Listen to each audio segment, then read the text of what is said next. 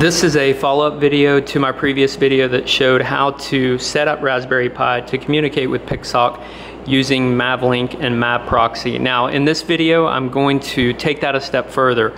We're going to run DroneKit on Raspberry Pi and then just do a simple Python script to command the DroneKit simulator running on my Mac to basically take off and land. And as you guys know, it's very important that we always test software on the bench before we go to the field and run this on our expensive aerial platforms. Before I get started with the walkthrough, I want to show the different components involved. So we have Raspberry Pi currently powered by Pixhawk. Now it's not going to be doing any communication initially. We're just using the wireless network to be able to communicate with DroneKit Simulator running on my Mac. Then here in the back, I have my Android tablet, which is going to be running Tower. It's on the same network. We're going to use MavProxy to communicate to it. It will basically display telemetry information from the simulator while Pixhawk is sending commands to it. So I hope that makes sense.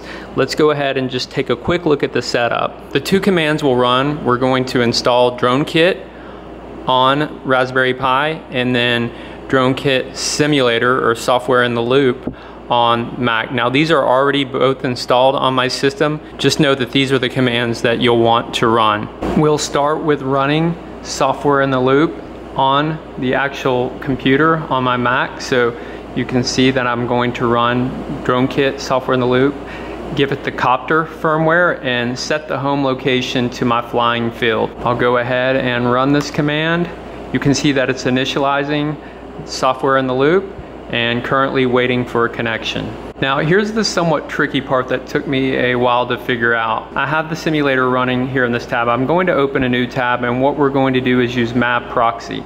So MavProxy is going to connect on port 5760. That's the port that our simulator is running on.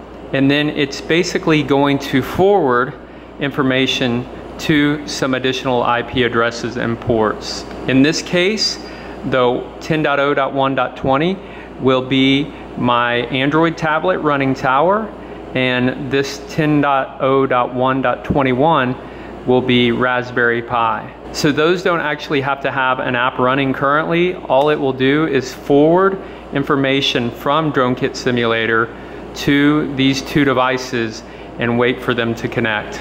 Now let me demonstrate this on my Android tablet. This is Tower, you can see down here. We have our different connection parameters. I'm gonna specify UDP. And for the server port, we'll just leave the default of that 14550. If you remember on our MavProxy command, that was the port that we used. So information is currently being forwarded to my tablet, but now all we need to do is connect. Connected, mode stabilized. And you can hear that it's connected and receiving information from the simulator. I'll do a quick demonstration of the communication between the two. So here we have stabilized mode by default. I'm gonna switch to acro. Mode acrobatic. And if you look at MavProxy running down here, you can see that it's changed to acro. So just to demonstrate again, I'll switch back to stabilize. Mode stabilized. And you can see that it updates in MavProxy here. The next thing we'll do is run a basic script on Pi using DroneKit. This is a little gist I'm sharing. It's a Python script called Takeoff and Land. I'll put a link to it below. But if you look through it, it's, it's pretty simple to follow. You can see that there's a connecting the vehicle and we can connect over serial port uh, IP address. So when we get to the field to do this test, we'll actually connect over the serial port. Does some basic pre-arm checks.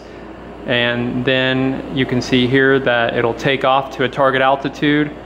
Down here we say 20 meters. Then we hover for 10 seconds and then it'll land. So We'll do this in the simulator with tower hooked up. You can see how it works. And then in the field, we'll run this same script and demonstrate that in an upcoming video. First thing I need to do is actually connect to my Pi. So I'm gonna SSH in. It's uh, 10.0.1.21. That'll vary based on your network. The default password for Pi is Raspberry. Okay, we're in. And now I have this little Python directory with a few scripts I've been playing around with, but this takeoff and land is the one that we just saw in GitHub. So what I'll do now is if we remember MAV proxy is forwarding to the IP address of the Pi, that's 10.0.1.21. This was where we ran MAV proxy and we're going to connect and at the same time I have tower connected. Let me just go ahead and center on the aircraft location. So that's where the simulator has us placed. That's one of my places that I like to fly. Here I'll go ahead and execute our script with the Python command. You can see it's connecting. You should hear tower echo back the flight mode here shortly. We're going to switch to guided mode. Mode guided. Armed. Waypoints received. Now I'll just show you this because we will see the altitude start to increase. 20 meters is roughly 60 to 70 feet. And then it should hover for 10 seconds and then it'll proceed to land. Mode land. That land mode has now been executed and you can see that tower is then echoing back the altitude and you can see over here the land mode is selected Looking at our script, you can see that it says takeoff complete, now let's land. These are all statements in the script. Now you will notice an exception down here. I have noticed just through my testing over the past several months that DroneKit still has some bugs, so you can definitely try to catch your exceptions as well as get involved with the community and give feedback to the DroneKit team.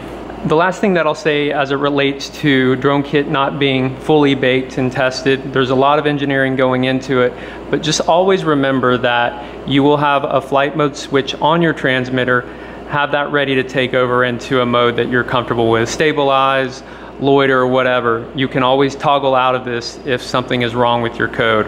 But obviously it's important to test in the DroneKit simulator that's what we're doing here and that's what I wanted to demonstrate before we get to the field. Now just as a final demonstration, I don't actually know what this is gonna do. I'm going to, instead of connecting over my network, I'm going to connect to the serial port, which is currently where my Pi and Pixhawk are connected. So you can see dev serial zero. Let's just see what it does. So we can see that it's trying to connect. I have APM copter running on it and what I gather will happen is it won't allow us to arm because all the calibration has not been done. Yeah, so you can see here that it's saying waiting for vehicle to initialize. Just wanted to see what would happen. So what I'm gonna do next is get this Pixhawk installed in a quadcopter and we'll go to the field and run that script. If you guys have any questions or comments, please post them below. And until next time, thanks for watching.